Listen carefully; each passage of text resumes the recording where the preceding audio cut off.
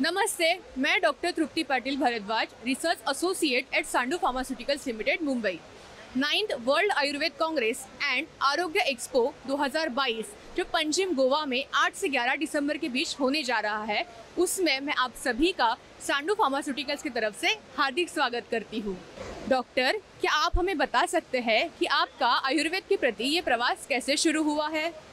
माझं नाव doctor Sameer Sadekar ayurvedic physician म्हणून मी दोन हजार तीनपासून गव्हर्मेंट ऑफ गोवाच्या इथं काम करत आहे. एकोणीसशे शहाण्णव साली मी भाईसाहेब सावंत आयुर्वेदिक महाविद्यालय सावंतवाडी इथून आयुर्वेद ग्रॅज्युएशन केलं. त्याच्यानंतर एका सेवाभावी संस्थेमध्ये मी एक दोन वर्ष काम केलं आणि नंतर Goa public service commission through pass out जाऊन गोवा गव्हर्मेंटमध्ये ॲज अ आयुर्वेदिक डॉक्टर म्हणून मी जॉईन झालो. नॉर्थ गोवा डिस्ट्रिक्टमध्ये जवळपास सगळ्या पी एस सीमध्ये मी काम केलेलं आहे.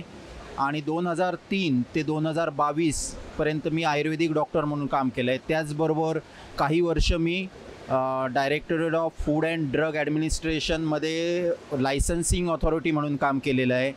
मागची दोन वर्ष नॅशनल आयुष मिशन जे गोवा स्टेटचं आहे त्याचं स्टेट प्रोग्राम मॅनेजर म्हणून काम केलेलं आहे. आणि प्रेझेंटली आता मी as a ayurvedic physician north Goa district हॉस्पिटलमध्ये काम बघतो आहे sir as a career guidance म्हणून तुम्ही ह्या प्रश्नाला कसं उत्तर द्याल की आयुर्वेद आणि गव्हर्नमेंट किंवा शासन शासनात कर शासकीय सेवा गव आयुर्वेदिक स्टुडंटना कशा करता येतील? शासकीय सेवेत जाण्याचा उत्तम मार्ग म्हणजे स्टेट गव्हर्मेंटच्या ज्या कॉम्पिटेटिव्ह एक्झाम असतात त्या पास होणं. प्रत्येक स्टेटची पब्लिक सर्व्हिस कमिशनतर्फे एक्झाम घेतले जातात. त्या एक्झाममध्ये हे खूप पासआउट होऊ शकता. त्याच्याद्वारे तुम्ही ने वेगवेगळ्या पी एस सीमध्ये किंवा कम्युनिटी हेल्थ सेंटर डिस्ट्रिक्ट हॉस्पिटलमध्ये तुम्ही आयुर्वेदिक डॉक्टर म्हणून काम करता येतं. आत्ता जो जो प्राईम मिनिस्टरचा आयुष्यमान भारतच्या अंडर हेल्थ अँड वेलनेस सेंटर्सचा कार्य प्रोग्राम आहे त्याच्यामध्ये तुम्ही कम्युनिटी हेल्थ ऑफिसर म्हणून आयुर्वेदिक ट्रीटमेंट देता येते. हे गव्हर्मेंट सेक्टरमधलं झालं. समजा प्रायव्हेट सेक्टरमध्ये असेल तुम्हाला तर तो स्वतःचं ओन क्लिनिक काढता येतं. मॅन्युफॅक्चरिंगमध्ये इंटरेस्ट असाल तर तुमचं मॅन्युफॅक्चरिंग युनिट हे क सु स्टार्ट करता येतं. स्टेट मेडिसिनल प्लांट बोर्डचे वेगवेगळ्या स्कीम आहेत.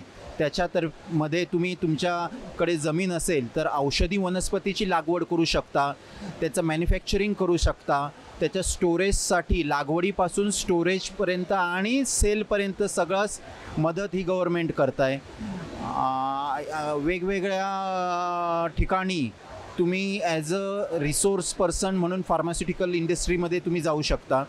प्लस इंटरनॅशनल सेमिनारमध्ये अटेंड होऊ शकता. प्लस इंटरनॅशनल अदर कंट्रीमध्ये तुम्ही ॲज अ आयुर्वेदिक प्रॅक्टिशनर्स म्हणून काम करता येतं. सर तुमची तुमच्या प्रॅक्टिसमध्ये तुम्ही सांडू फार्मास्युटिकलचे काही प्रोडक्ट्स वापरण्यात आले आहेत का? आणि त्याबद्दल काही सक्सेस स्टोरीज असतील का तुमच्याकडे?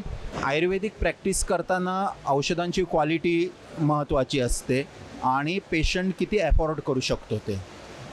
मी माझ्या प्रॅक्टिसमध्ये आहे सांडू फार्मास्युटिकलचे प्रोडक्ट पुष्कळ प्रोडक्ट वापरलेले आहेत. उदाहरणार्थ सांगायचे झाले तर सांडू गुलकंद आहे ॲसिविन सिरप आहे सांडूची आसवरिष्ट आहेत नंतर भूनिंबादी काढे आहेत. हे वेगवेगळे प्रोडक्ट वापरले आहेत ज्याने पेशंटला गुण येतो. कारण जर औषध चांगल्या प्रकारे तयार केलेलं असेल तर त्याचा योग्य गुण येतो. तर मी हेच सांगू शकतो सगळ्यांसाठी की डाएट आहेत त्याबरोबर आयुर्वेदिक मेडिसिनही आवश्यक आहे चांगल्या क्वालिटीचं